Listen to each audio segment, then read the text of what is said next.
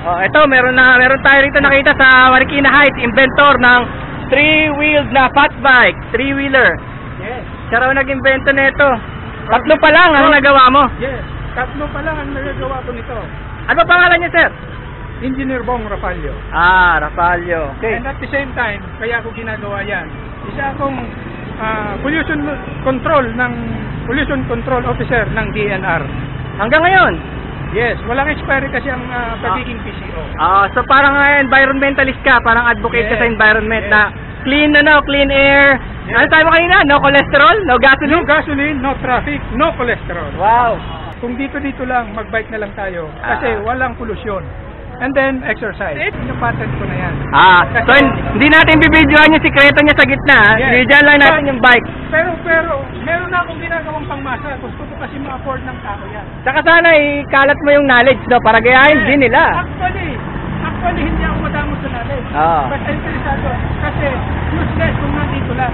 Tama. Ang principle ko kasi kaibigan, kung ano man ang nandito ko, isi-share ko sa tao, magkakaroon ng bunga. Tsaka magkakaroon ng change. Yes. Pag dumami. Ang mag- nagiging problema kasi natin, alam mo kung ano? Ah, Kaya yung katamutan. asenso ang, ang Pilipino, may pagka-crab mentality.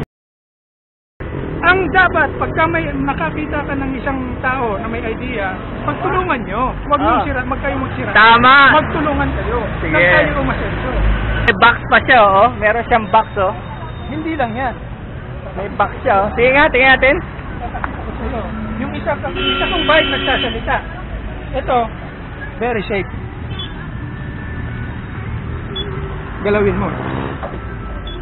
Aba, nag-alarm. Sige pa, galawin mo. Nag-alarm siya. Oh, in-inform ka pa. Yes, kahit malayo ako, alam ko may nakikialam sa bike ko. Oo nga, no? Ha? Ito oh, Ang layo niya, oh. alam ko, nag-aalam na, may nakikialam sa bike ko. Oo. ano ba ang maximum nitong kayang buhatin? So parang pinasok mo lang sa loob, ano? Actually, kahit na tatlo katao tayo, kaya. Bigas. Kaya mo mga bigas siguro nito. Pamalengke, no? Actually, for recreational. Pero kung talagang gagawin natin, kaya naman yan. Kaya niya kasi may cambio, eh. Yes, kaya. May gearing Kaya siya eh. mahirapan ka lang siyempre. Oo. Meron ka namang platito, eh, oh. Hey, yan. Magaan. Kaya lang pag medyo paakyat, medyo hirap ka lang. Ah, ganon? Sige nga, sir. Ito, ano, ik- ikot mo ganyan. Ang advantage nito, pakita pa siya advantage Ah, sige, nito. sige, sige.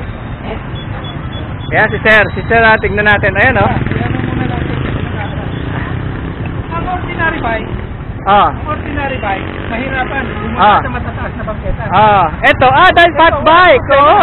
Hindi, Dahil- kahit na hindi fat bike, meron kasi akong folding bike, Ah. bike, meron bike. Pwede akong bumaba dyan. Ah. Very safe. Ang galing, ano? Pero, tingnan mo, na hindi ko madidisgrasya, di ba? Ah. Tapos pasok na pasok sa bike lane, no? Kulang pa nga, eh, oh. Di ba? Very safe. Ano ka rin? Tignan natin.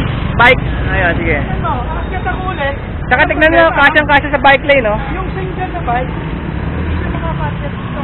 Ayan, wow. Nice. Di ba? Kung Ayos. naka-traffic, no Ayos. traffic, no gas, no cholesterol. Ah, no cholesterol. So, ang power nito, ano, galing sa cholesterol ng tao. Muscle power. Yes. At may ilaw ka na rin. Pwede ka na rin sa gabi, no? Actually, may ilaw. Ito lalagyan ko pa ng pang-supply. Ah, wala ka pang Pero baterya. LED naman yan. Oo, yan. matipid yan. Matipid kasi kaya niyang i-drive Ah. pag mga 12 volts. Ayos, ano? Whatever the power supply ng alarm ko, pwede na rin sa dyan. Ikaw nag-fabricate yan? O Yes. binili mo yan sa labas? No, ako mismo. Ay, alam mo kung bakit? Ako, Oh. si mechanical ako. Ah, Ah, industrial machine dinidesign ko. Pero what more dito? oh, ang linis eh, oh. Ang linis ng mga, ano mo, clamping mo. Ang, ang principle ko kasi, magpapakahirap ka, gandahan mo na. Every time akong gumagawa, ang nasa utak ko, alam mo kung ano? Ah. Kung nagagawa ng mga taga-Danau, ang sophisticated na Na, baril, oo, samanta scrap metal lang. bakit tayo hindi, na meron tayong gamit? Meron tayong, pagka may late machine ka, di ba? Yes, meron naman kung ano. Pero hindi, ba't hindi mo kinabit dito? Ba't di mo yung binelding? Ayun, ano mo bakit? Hindi ko welding yan. Gagawin mo detachable? Ito kasi, ang conversion ko, ko na yan, nakalagay na lang sa maliit na toolbox. Pwede Ah, ikaw mo magbuo niyan. Kung gusto mo mag, balik mo sa dati, tatanggalin mo lang. pero yung Balik- batalya, may nabibili bang ganyang batalya? Ang batalya, may nabibili. Isang buong bike na yan. Or, Hindi, na- nag-split dito. Ay, oo Standard nga, bike no. yan. Iko-convert ko na lang. Ordinary pa lang batalya yan, oh. Yes. Meron malaki, meron talagang willpower dito, no? Kaya nagkaroon ng mga bike lanes, Yes. pangketa. Kaya nga, sa totoo lang, si BF, tuwan-tuwa ako. Kasi gusto ko siyang ipakita to. Kasi Ah. siya ang nagpalagay ng bike lane, di ba? Ah, tama. And 6,000 kilometers. Very creative si BF. Nakita ko kung paano niya binago ang Marikina. Yung vision niya, kakaiba. Yes. Advance. Before nakita ko ang Marikina, nung malipat kami sa Sumatra, Oo. hindi ko gugustuhin. Inuutusan ako lagi, nag-aaral ako. Inuutusan ako kamalengke ng kuya ko. Nagbabike ako dahil putik. Pero, nakita ko kung paano niya binago. Isa din ako sa walang disiplina before nagtatapon sa sa Ah. Pero dahil disiplina talaga ang kailangan. Nabago din. Ako, aminado ako Ah.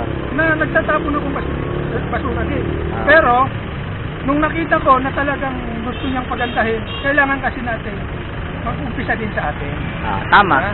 Para ma-improve. Kaya, Ang ang disiplina ang asenso nagsisimula sa sarili mo. yes, even Disiplina. sa basura, dapat balot ng candy. Huwag mong itatapon. Wow, kasi sa, Jap- sa Japan nga eh, rural rural area, ang linis-linis eh. Wala kang makita eh. Ah, 300 meters o ah, 3 kilometers away from sa bahay mo, Ah. huwag ka nang magdalang sasakyan. Mag-bike ka na lang. Good for health pa. Di ba? Saka And then, dapat yung mga establishment, i-ready nila para sa bike, no? magkaroon ng parking. Parking. Di ba? Isang sasakyan naman, marami naman, di ba? Wala pa, wala pa tayo sa ganung mentality kasi yung mga Kaya- negosyante talagang business as business Hindi eh. ito, ito, yung sinasabi natin. So, mangyayari, ilang, ang polusyon natin, maraming masisave natin na hindi tayo magpupulyot ang uh, ozone layer natin, di ba? Yun ang ano no. Inilabas ko 2017. Mm. At hinubaran ko ang likod 2018. Kasi Ah. nakacover yan before. Ah, Kasi nga, uh, siyempre, alam Patented. Naman, alam naman natin ang Pinoy. ah. Di ba? Pero pag kung pansarili lang, pwede, no? Wag Pwede lang na. nilang i-business. Total, patented naman sa'yo eh. Pwede naman. Pero actually, meron na nga ako nakapag, na, na-picturean ako, nasa internet na rin ako. Pero Ah. ano lang yun, nakita ko eh. Pero Ganda. Tutulit pa lang talaga to. Disc brake pa siya lahat, oh. Yes.